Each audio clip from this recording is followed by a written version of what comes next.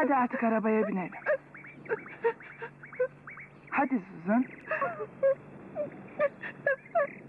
Yok, gelmek istemiyorum. Hayır Koral teyze, hayır gelmek